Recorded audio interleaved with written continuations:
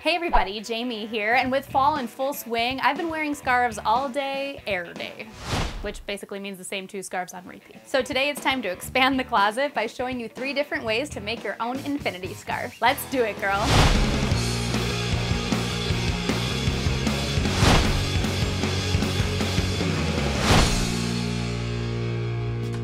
Okay, so for this craft, you'll need scissors, a needle and thread or hot glue, and any old shirt. If you want a multicolored scarf, grab a variety of shirts in complementary colors. Now there are so many different ways that you can make your own scarf from scratch, so I'll just show you three different options and then you can take it from there. Let's start with the easiest scarf first. One, the stretchy stranded scarf. The first step is to cut your shirt into strips. Snip away the bottom hem of your shirt and then trim below the armpits in a straight line. With this new rectangular piece of fabric, fabric, cut 1 to 2 inch strips from one side of your shirt to the other. You can keep the strips the same size or vary the widths to mix things up visually. Once all of your strip loops have been cut, the next step is to stretch them out and curl them up. Pull on each strip gently so that it curls into a thin strand. Then grab all of your loops and pull them as wide as you can to make them as long as you can. Step 3. All that's left to do is bind your loops together. Cut a thin strip from your t-shirt sleeve. Gather up all of your strands, slip your strip through their loops, and then bind them together by tying your strip into a tight knot.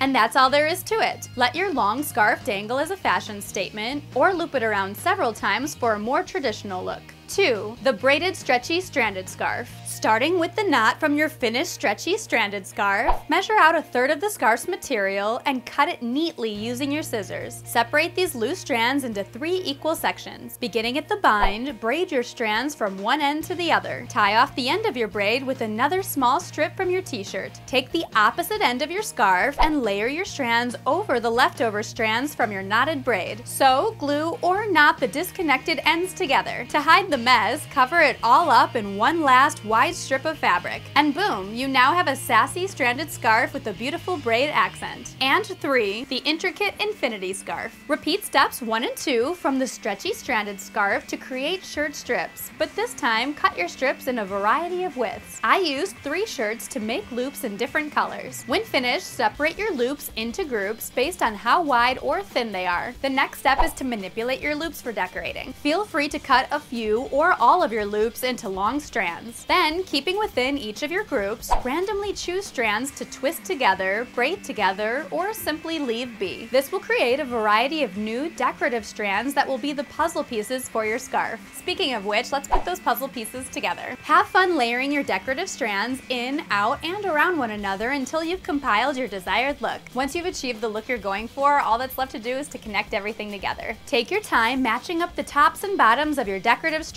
Again, you can sew, glue, or knot knot them together. If you made a messy cluster where you connected your scarf together, feel free to bind it with a strip of t-shirt like you did for your other scarves. And there you have it, your own intricate infinity scarf. Now like I said, there's an infinite amount of ways in order to make an infinity scarf try out more shirt colors and patterns. Or decorate your strands by stringing on beads or pinning on decorations. Instead of extra t-shirt material, you could substitute for lace or leather in order to better fit your personality. Honestly, as long as your scarf looks good and feels good, then you're all good. What type of infinity scarf did you make? Tweet me at Jamie Petitto, Instagram me at Hey Jamie, or let me know on my fan page on Facebook. If you love this DIY, click the video on your left to see even another way to make a scarf out of an old t-shirt. And click the video on your right to transform your t-shirt into other accessories from a headband to a belt. We did it, girl. I'm Jamie and you're on Gurl.com.